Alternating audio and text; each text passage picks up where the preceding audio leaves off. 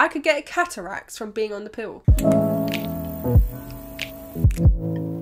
Hello my loves, welcome to my channel. If you're new around here, my name is Jess and if you're not new around here, welcome back sweetheart. It's a joy to have your beautiful face here today. In this video, I'm literally just going to be reading through all of the side effects of the pill based on like their risk riskiness you know? Going from like low risk to like high risk. And like how common these ones are. Because i recently developed a side effect that at first i didn't know it was a side effect of the pill. I was literally thinking what the hell is this? And then that just made me think well if that's a side effect that i hadn't heard of then how many more are there? I mean we all know you know that there's a, the big sheet of side effects that comes with the pill pack. It's all long right? I never read it. The only way that i now know about all the side effects really is because of the internet it broke it down for me, you know. Drum roll, please. The side effect is yellow brown patches slash hyperpigmentation of my skin. What the fuck? When I read that up and I learned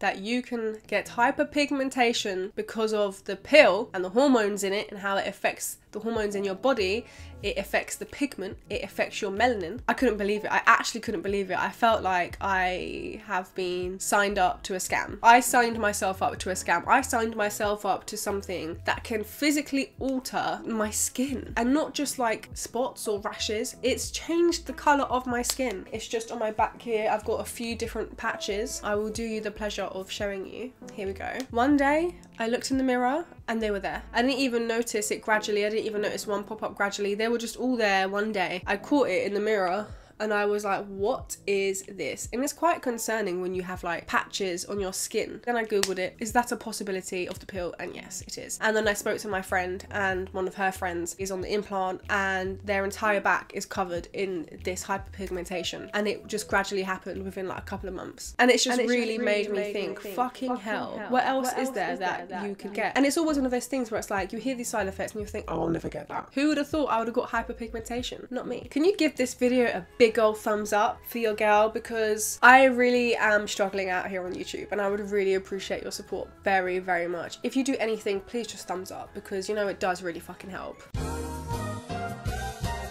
I'm on the desogestrel pill, so I thought I might as well read out the side effects of the pill that I'm on. If experienced, these tend to have a less severe expression, okay? So we're starting from the common ones, and they're less severe, right? Water retention, breast pain, acne, dizziness, headache, nausea, abdominal bloating. Infrequent side effects, if experienced, these tend to have a severe expression. Excessive fat in the blood, high blood pressure, blood clot in a deep vein of the extremities. I mean, I've heard about blood clots, and that's why I had to come off the pill before because I'm not a headache person, I never get headaches. So when I did on the pill, the nurse said you got to come off it ASAP, basically. Altered interest in having sexual intercourse, yeah, that's very regular for a lot of people actually. Their libido completely fucks off you know? Like there's no interest in sex. And i i have experienced that from time to time to be honest. Throat irritation. What the fuck? Bronchitis. Uti enlarged breasts. Abnormally long or heavy periods. Yeah i mean i feel like that's one of the ones that we know going into it that that's a possibility that our, our periods are going to be on a fucking roller coaster. Increased sensitivity of the skin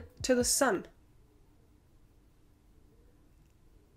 What? So many of these things, they don't make sense. Why is my skin going to be more sensitive to the sun? Ah! Because of the way that it affects your fucking skin. The fact that you can get hyperpigmentation. Yellow brown patches on skin. Weight gain, weight loss, vomiting, stomach cramps. Abnormal glucose tolerance test results. Intense abdominal pain. Mood changes. Breast milk production not associated with childbirth, birth, or nursing. Wow.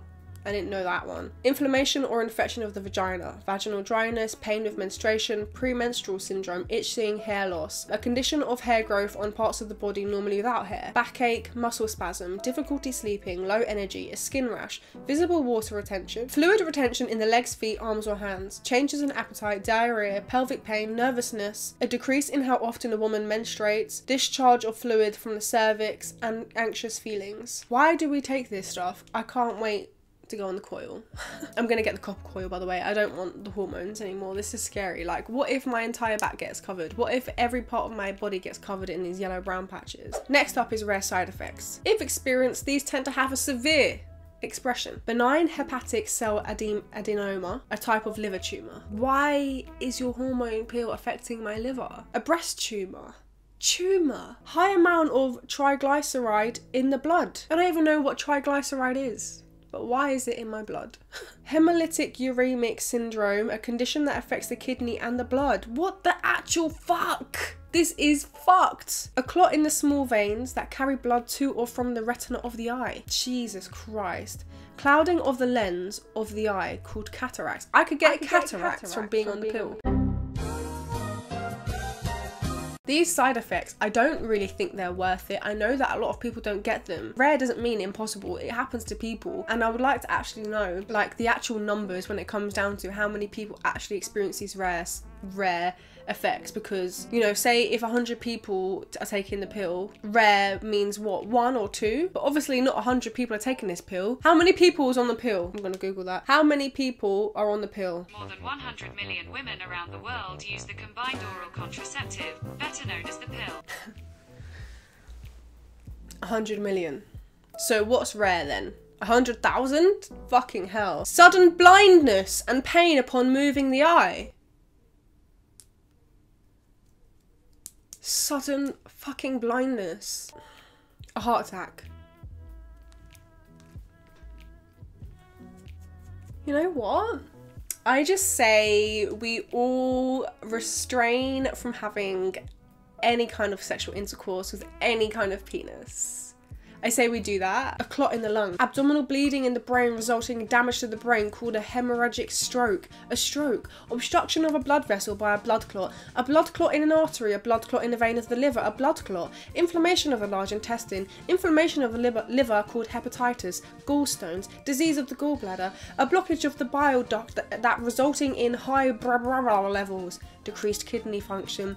An ovarian cyst. Unconsciousness Trouble breathing. Okay, is this getting ridiculous now? Is this getting ridiculous now? Please let me know in the comments if I should stop.